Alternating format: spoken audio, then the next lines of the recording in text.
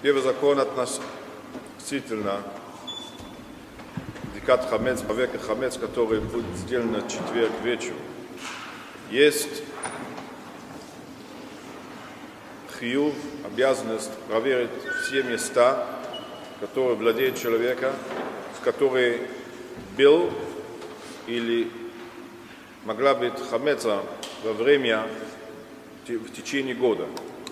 И это, конечно, это очень индивидуальный вопрос, поскольку, например, семьи, которые имеют маленьких детей, которые э, э, год или двухлетних детей и так далее, которые везде ходят, э, везде лезут и берут с собой хлеб или другой хамец, значит, можно полагать, что хамец есть везде, где лезет детей, игрушки, рюкзак и так далее, и так далее. Если все, все почистить, да, домработница, жена, все почистила, она говорит, сто процентов не остался ни один э, кружок хамеца, это не значит, что не надо проверить хамеца, поскольку любое, любое место, где был хамец, надо проверять, надо сделать бикат хамец. Единственное место, которое не, которое не там обязательство сделать бикат хамеца, это место, где ты уверен, что в течение года там не привезли хамец.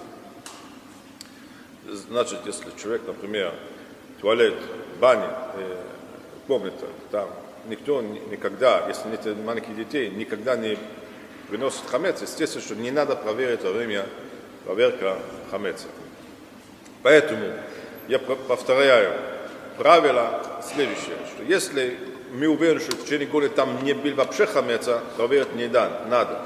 Но если был там хамец, и да, убрали, почистили, все равно надо там сделать дикат хамец.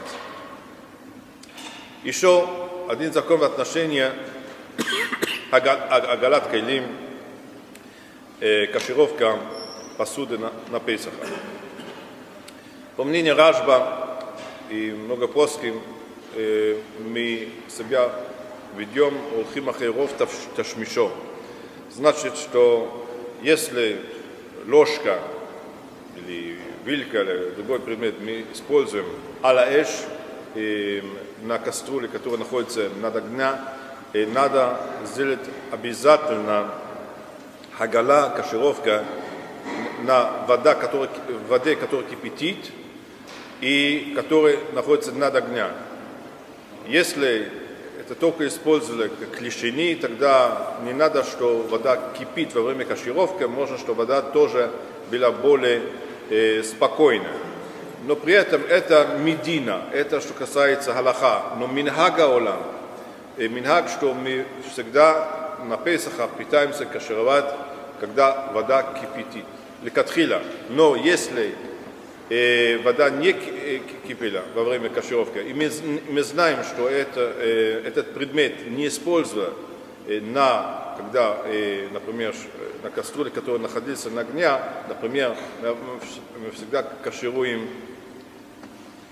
бокалы серебряные, которые мы используем для кидуша, там вообще э, мы только используем э, для э, холодного.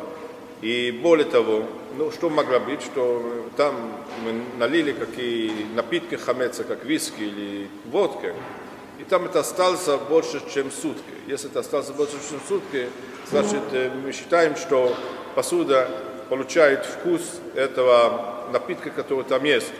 Но при этом минхаг это лекатхила, сделать кашировка на воде, которая кипятит, но если бедевер не сделали такой кашировка, сделали кашировка только горячая вода и так далее, или только помили это, это тоже бедевер хватает для Песаха.